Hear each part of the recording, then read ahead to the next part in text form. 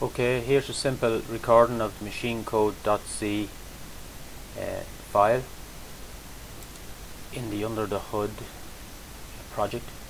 Make sure under the hood project is your main project. So under the hood, uh, if it's not, you can say set as main project. Open up this the machine code.c, you can see it's a very simple file, just purely to illustrate debugging. We have a single variable, count equals zero, we have a function initial that we call at the beginning and then we're just uh, changing the trisb special function register and the latb special function register and incrementing the counter.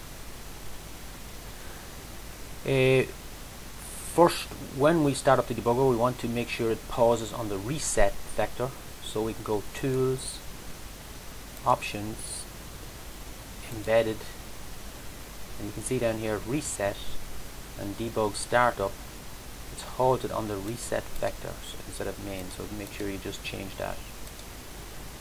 Also make sure I forgot to say that your debug tool is your ICD3 over here in the dashboard area of the left part of the screen. If it's not go to properties by clicking this icon and change to ICD3 and apply.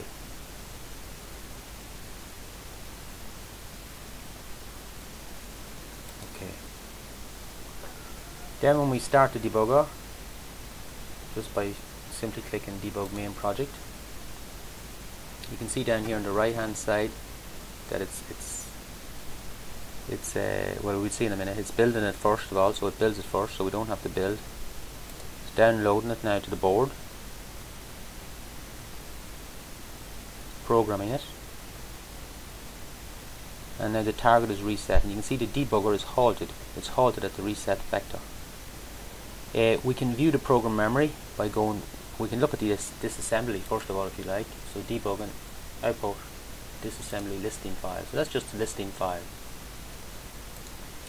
We can go window, debugging, uh, sorry, pick memory views, program memory, and there's the program, there's the program memory. And you can see that the debug arrow here is halted on the reset, on the reset vector.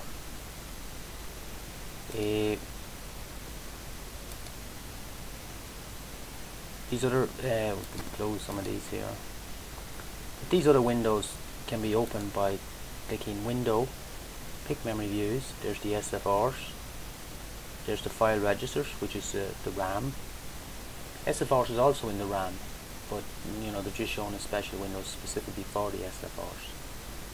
So, for example, down here at the bottom we can see the SFRs only and I've just discovered we can arrange them individually or by peripheral. It's just a way of reorganizing them. Uh, I don't see the memory the file register here. So we open the file registers uh, window. Here it is here. Now this is uh, the RAM address over here. It's a 12-bit address. So this is address this byte here is address 0 it's all organized by bytes. Address 1 address 2 address 3 uh, the count variable, if we just put the cursor over it, hopefully, it show out of scope. Mm. When we step into it, it'll tell us what the address of the count variable is. We'll come back to that in a moment. And so I, why I said that is because I think the address count variable will probably be in one of these first locations here in the first bank, probably address 0, 1, 2 or 3 for example. And we'll be able to see it changing as we count plus plus here. The special function registers are all at the very top of RAM or bank 15. So here, up here, all the special function registers. For example, if you go to SFRs, you can see F. These are the addresses in RAM, and these are the same addresses, and it's just showing us the values in the special function registers. So it's just the view of the special function register is probably clearer here because we can also see the, the name associated with each location. Okay. Uh, move that up. No, we can't. I'll just leave it for a moment. Yikes. Oh yeah, there we go. Okay, so there's the two of them beside each other. Now we can start stepping through the program, and as we step through the program, it might be interesting to watch the, the cursor move as we step through one instruction at a time. So we step. Now go to 7CCE. So presumably that's where the main function starts.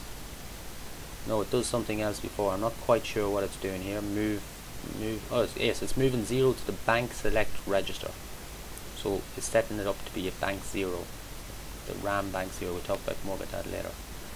Uh, then it's going to go to 7CE4 address. Presumably that's where the main function starts. Yes it is. So here's the program memory address and this is just a line number so we can ignore that. This is the opcode, this 16-bit instruction. This is just a label. And this is the assembly at that address 7CE4. So that's the first instruction. And you can see that it's moving 0 to the working register and then presumably it's clearing the variables. I'm not quite sure what's happening here yet, but uh, because it's something to do with count equal to zero, it's moving zero into working register and then it's clearing the count variable.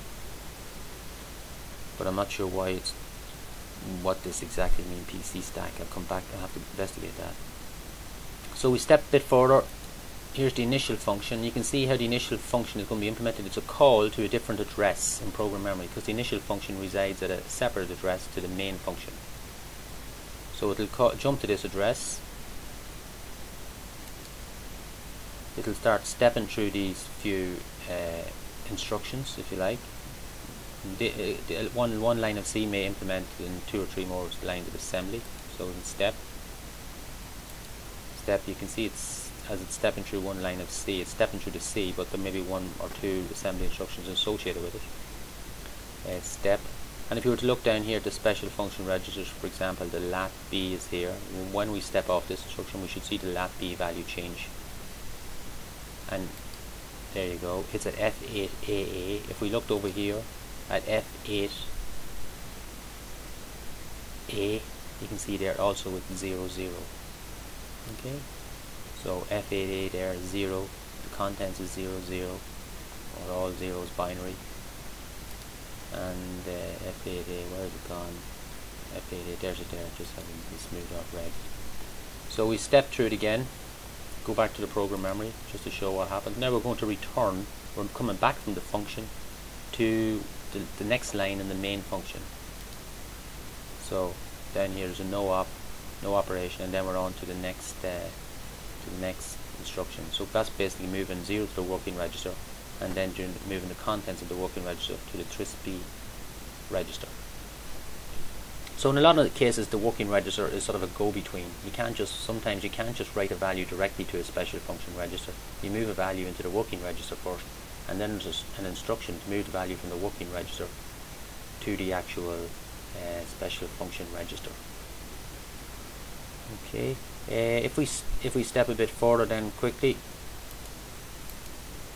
here's we're into the into the infinite while loop. You can see as we step through the infinite while loop, the count variable. Let's just watch the file register and just when you take note of which one is incremented. I'm sure this is up here at the top. We're in scope now, so we click over it. We can see that the count variable is address one, so that's this address here, zero zero one. So this should change now when we increment count by 1. So we step, and there you go, you can see it goes to 1. As we step around again, it goes to 2, 3, 4, etc. Also look at the program memory and see how an infinite while loop is, is, uh, is implemented. You see we step, step, step, and then it's a branch